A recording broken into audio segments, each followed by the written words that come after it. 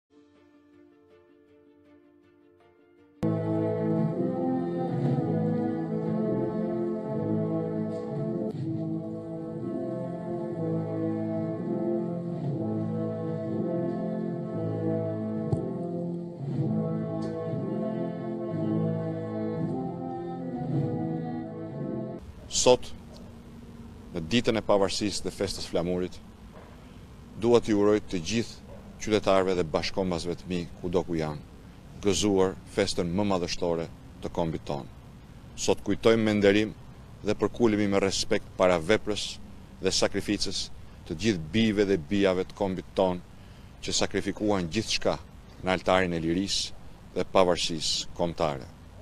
Sot është një ditë feste dhe gëzimi po ajo na gjen ndryshe nga çdo vit tjetër.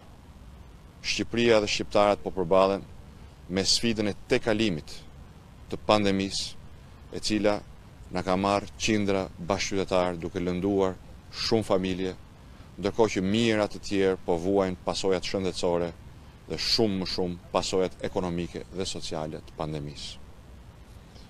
Në këto kushte, Kjo ditë dhe kjo festë është një kujtesë e fuqisë dhe forcës së kombit tonë. Unë jam i bindur në fuqinë dhe forcën e qytetarëve shqiptarë, në fuqinë dhe forcën tuaj për të qenë sbashku dhe për të tejkaluar sbashku pasojat e kësaj krize dhe pandemie dhe për të dalë më të fortë, më të bashkuar e më të vendosur. Jam i bindur se njëzet e tetë nëntori tjetër do të na gjejë me një Shqipëri më të shëndetshme, më të mirë dhe më afër Europës. Ju uroj nga zemra Gëzuar Ditën e Pavarësisë, Gëzuar Ditën e Flamurit.